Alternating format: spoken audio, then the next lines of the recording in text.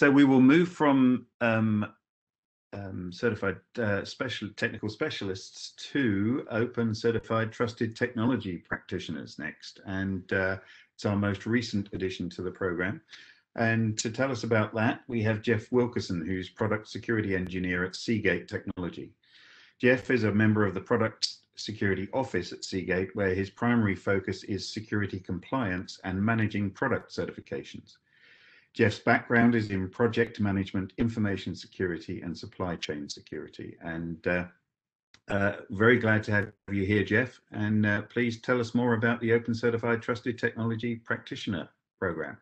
Over to Hi, you, Steve. sir. Great. Thanks for the intro. Appreciate that. Um, Welcome back. Thanks. Uh, hello, everyone. Um, welcome to the overview of the Certified Trusted Technology Practitioner uh, certification, also known as the OpenCTTP. Um, my goal here is to explain what the certification is and how it's been beneficial to both me and my extended team uh, here at Seagate. Um, so before I begin, maybe a little bit uh, more about me. Um, I've been with Seagate Technology since about 2014, uh, originally in IT, but joined what we now call the Product Security Office in 2017. Um, during that time period, Seagate became really focused on product security attestation and lifecycle security. One of my main tasks in the PSO has been to drive alignment and certification to the open trusted technology standard, uh, both internally and with our own suppliers. Uh, Seagate figured out pretty quickly that we wanted our product security effort to be based in a published and recognized standard. Uh, and so we gravitated towards the OTTPS um, pretty quickly in that process. Um, for those of you who are not familiar with the OTTPS, it is a product lifecycle security standard that exists to um, protect organizations um, and their products uh, against maliciously tainted or counterfeit components. Um, don't think I really need to delve into why that's necessary given my audience here today, but um, I will tell you that since we integrated and initiated this program in 2015, we've seen a substantial uptick in product security inquiries and feature requests. Um, our customers, I think, are more concerned with product security, uh, best practices, um, and product product integrity uh, now than really they ever have been. And I don't think that that train is really ever going to slow down again. Um, we've found the OTTPS to be an extremely valuable tool uh, to unify security best practices across our whole enterprise, um, across the five phases of the product lifecycle that you can see here on your screen. Uh, and I will maybe brag on us a little bit uh, here by mentioning that we have three product families that are independently certified now, um, with two more in the finishing stages of, of the process. Um, and I could go on and on, I think, about how the OTTPS has benefited Seagate and how it could benefit your organization. Um, but that's kind of a separate topic. And today we want to talk about uh, a different but pretty closely related certification, which is the Open CTTP. Um, product lifecycle attestation is, I think, a relatively new concept. Um, but it has been around long enough now that there are people with demonstrated expertise uh, in this field. And the Open CTTP exists to verify that individuals have the skill set and experience to act as uh, trusted technology enablers. Um, tech consumers, you know, they they want to they want to know that the products they purchase are genuine. Um, they want to know that they're uncorrupted, and practitioners of this type are people who basically know how to implement security practices to best ensure that. Um, whether it's uh, risk of tampering um, somewhere in the supply chain um, that we're talking about, um, or insertion of malware in the dev process. Uh, this is one certification that covers product lifecycle security. Um, so, you know, what product, or excuse me, what problem does the Open CTTP solve? Um, well, I would say that it kind of directly addresses um, a pretty major gap in the realm of personal certs. Um, I've got a slide here in a minute that covers the proficiencies, but basically, um, there's just no there's just no real um, certification with this same scope. Um, you can get a CISM to cover InfoSec or uh, CSSLP um, for software dev, but neither of those really cover more than one or two of the phases of the product lifecycle. And the same, I think, can be said for um, CSCRM for supply chain. Um, and this uh, this dual focus on the uh, oh, I see a comment here in the chat. Sorry, are you guys able to hear me? Okay, Steve, can you verify that my voice is coming through? Okay. Uh, yes, it is, Geoff. At least to me, you're clear as a bell and can see okay. you clearly too. Good.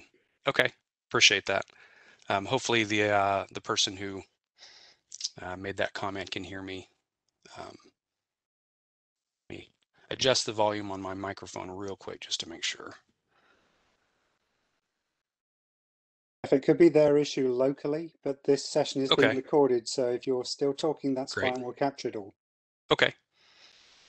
Thanks, James. Um, yeah, so this dual focus on uh, COTS or commercial off-the-shelf product um, and on life cycle is really interesting because it's both broad and specific at the same time. Um, the breadth of the cert is kind of inherently wide, um, but we're also talking about a fairly unique subset of professionals um, that don't really have many other options for demonstrating competency in what they do.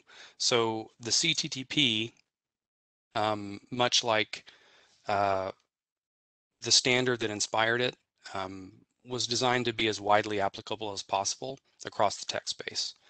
Uh, if a practitioner has worked on products that have you know logic bearing components, um, embedded software, or products that have been shown to be a potential target for counterfeit, um, there's definitely room for them in, this large tent, and I don't think that that tent is getting smaller anytime soon. Um, one of the first decisions that you know the team that that designed and created this standard um, came to a consensus on um, was that we wanted this to be based on experience. Uh, I think part of the rationale there, at least for me, uh, was that there really isn't a huge body of literature um, out there that covers this particular scope of proficiency. Um, but we do have professionals uh, with life cycle experience that go back a long ways. Um, you know, maybe someone worked in uh, supplier security, um, product development, or physical security at various stages of their, of their career. And, you know, these experiences can be separated by time, but still speak to the practitioner's uh, skill set in a way that, you know, passing a written exam um, can't really address. And ultimately, we're looking to certify people who can demonstrate competency in implementation rather than kind of pure knowledge. Uh, it's the executive and support functions that we're really aiming for. Um, so these are the core competencies pulled straight from the CERT document. Um, sorry about the how loud this orange is, by the way. It didn't look quite as overpowering um, when I was putting it together. Um, but anyway, I think this uh, this shows what I'm kind of trying to get at.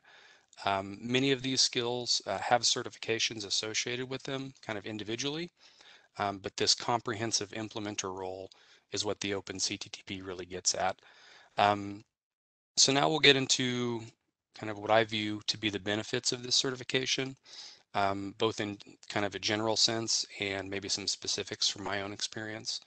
Um, there are a lot of companies out there that are uh, just now looking into lifecycle security. Uh, and I don't have the exact numbers handy, but when uh, when Seagate first looked at the OTTPS in 2015, there were fewer than 10 product lines listed on the CERT registry. Um, now I think that number is maybe somewhere in the 80s um, and growing each month. Uh, and this personal cert is the perfect way to express competency in that certification process. Um, I mean, does anyone in the audience today think that product integrity is going to become uh, less of an issue going forward. Um, I tend to think not. Um, new products mean new dev processes, and as we've seen in 2020, um, supply chains are prone to disruption and sudden change. Uh, so I really feel that the market for this skill set is going to grow over time, and there's no better, better way to signify it. Uh, speaking personally, this certification has increased my own marketability, and having a certification that speaks to my experience profile um, you know, kind of makes it easier to articulate what these, uh, what the profile consists of. Um, one of our biggest challenges at Seagate has been um, aligning best practices across teams. I don't think that we're really unique in this either. Um, any large organization is going to have uh, some degree of siloing, and especially those who have numerous product lines, uh, maybe spread out geographically across the world.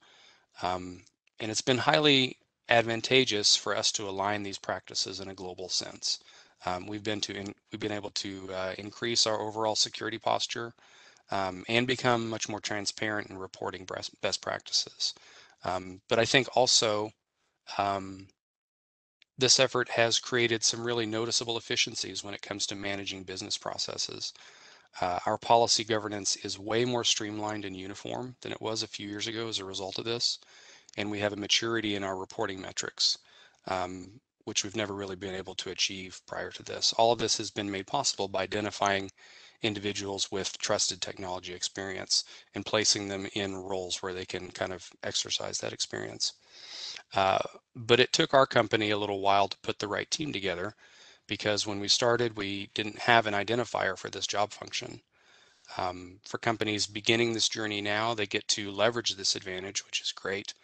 Uh, and something I maybe forgot to mention um, on the skill set, skill set slide a few minutes ago, um, experience with the OTTPS specifically is not a requirement for this certification. Uh, that standard may be the best example for a full lifecycle security standard um, that I can think of, but uh, you know, as I mentioned earlier, there are professionals out there who have done this work in segments over time, and this cert was designed with those people in mind as well. Um, all right, so let's cover what the cert process actually looks like at a at least at a high level. Uh, there are three steps an applicant has to take. And the good news is that none of these involve cramming for a test or flashcards or anything like that. Uh, the process weighs um, your relevant experience against the CERT requirements. Um, candidates can also complete these steps at their own pace, which is great. Um, so depending on whatever your, your preference is uh, in terms of timeline and your level of readiness, you can kind of customize it to what you want. Uh, so for the first step, you have to submit a milestone application form, or a series of those, I should say, uh, in order to receive individual badges. Uh, there are currently two levels of certification, uh, Certified Trusted Technology Practitioner, which is level one, and Master Trusted Technology Practitioner, which is level two. Uh, level one requires four badges and level two requires five. Um, the second step is pretty straightforward. Uh, there's an application form that asks candidates to detail their practitioner experience uh, against the guidelines. And this is where you get to tie in various experiences over your career and paint a picture of implementing best practices across product lifecycle. Uh, and speaking from experience, um, this is where kind of a vast majority of the actual work is. Uh, but I have to mention that even though I've only been in the product security business for about seven years, I was able to draw on experience that predated that. And I was pretty surprised at how my previous experiences in IT and supply chain, even though they weren't necessarily uh, product centric, um, ended up being quite relevant. And uh, then we have the final step here, which is essentially a panel interview where the board reviews and discusses an applicant uh, and their, their relevant experience. And at least for me, this was a pretty highly enjoyable session. Um, I'd never given such a, a thorough accounting of my professional history to a single group before, so that was really interesting. And I have to admit that I uh, I emerged from that process with a greater level of confidence in my work and a better understanding of its value, um, not only to Seagate, but any potential other employer I might have. Um, so speaking only for myself, I would say that in addition to gaining the cert, um, I now have the ability to articulate my skill set in a clearer and more concise way. And that secondary benefit has been re really useful in my cross-functional work. Um, our product security team here at Seagate is constantly engaging new teams and uh, new individuals. And after going through this certification, I have a really easy way to kind of articulate and demonstrate what I do, uh, which really starts those engagements off on a better footing. Um, so hopefully this has been a helpful overview of the Open CTTP. Uh, if you or anyone on your team works in the field of product security or product lifecycle security, uh, there really is no substitute for this certification. Um, it is the only one of its kind, and there's really never been a better time to get started. So uh, thank you to both Steve and James for the chance to speak here today. And if you have any questions about this certification, please uh, feel free to speak up in the panel. Um, or if you'd like to contact me offline, um, I'd be happy to, to speak more on this topic with any of you individually. Thanks. Thank you, Geoff. Great, great job. And yes, as, uh, Geoff said, please, uh, if you have any questions, ask them in the Q and A. And if we uh, if we don't get to every question, then we will uh, do our best to get your question answered uh, remotely um, after the event. But uh, in in the meantime, Geoff, thank you. That's a, a, a great summary. As you say, there is there is nothing else of its kind. So um, get involved. So warm virtual round of applause um, for Geoff Wilkerson, please. Thanks, Geoff. See Great. you on the Thanks, panel. Steve. All right.